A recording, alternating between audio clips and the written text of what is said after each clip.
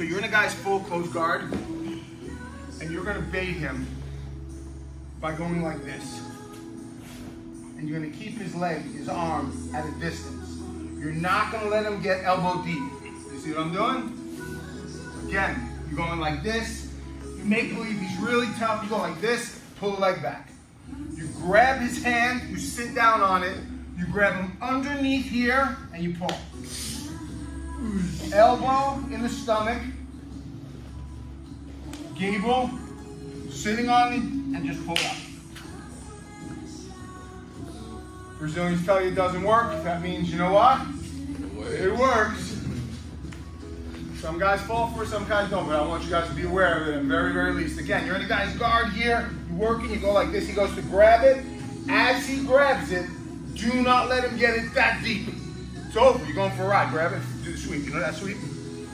Waiters. Yeah. Scissor, boom. And now you're on the bottom.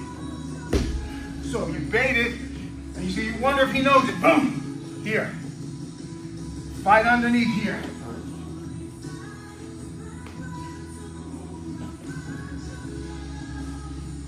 Let's try and we'll detail it. One, two, three. The mechanics of it are really simple.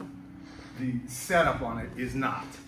You're in the guy's guard, and how you bait it from here is really guy to guy. You know, you lean back, you, you want to bait, you want to see what this guy's game is trying to do. Here is he going to try and set up a triangle. Here is he going to try and set up the Kimura sweep. You don't know. You know, you might even want to go like this and trap the arm. Yo, and he's going to yank that thing out. You go, oh man, you're so strong, man. You know, you want to make him feel like he's so strong. When you put this leg out, and I don't care which side it is, here, as he goes there, you want to grab it and pull it outside. You don't want to put your leg back in here. Grab it outside. Now, all of my weight and my arm come here, underneath that lock. Now, watch what I do. I'm going to take the top of my head, I'm going to put it on his, the point of his shoulder here. Let's stop, slide that arm up. See it? Take my back. Not going to happen, guys.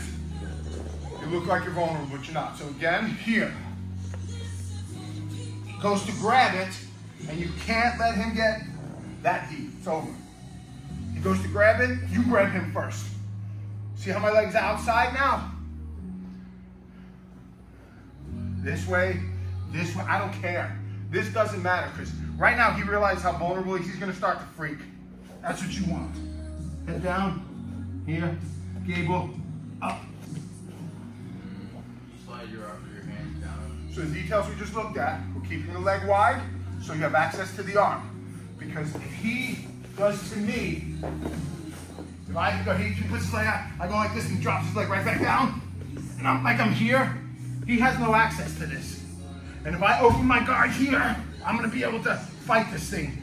But if I grab this here, and he keeps it outside, that's all he needs is that little space. Yeah, I'm, I'm done, guys. See it? And then the other point was point of the head, point of the shoulder. That keeps his arm down. All right? One, three. Your shins. That looks like, man, I can't wait to do this to somebody. But the trick to it is really a little more, you know, difficult than it looks. So I'm in, I'm in Shy's guard. I go like this. You see how I'm doing this here? I'm not doing this. I'm not doing this. I'm really sticking this out here. You see how I have his wrist? He, he's gonna grab the back of my, my knee. Let's say he has it with two hands. I don't mind that. We're here. I can even go like this if he does that. Now he's gonna get his hand out, and I'm gonna go to here. Now let's say I'm really high on under that armpit. Just walk it up, man. Elbow across the stomach. Head on there. You guys see what I'm doing? So again, to the other side, not here, out. Let him think he's got it. Drop and grab it. It's really hard to pull that out, isn't it? And it's not just that I'm fat. I happen to not only grab it, but I'm leaning my weight there.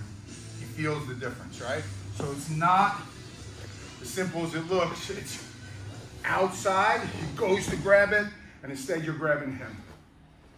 Right? And ideally, you want that hammy line to be on his wrist line. If it's too high, he's going to pull it out. If it's too here, you're not going to have space to grab his arm. Okay? Arm across the belly.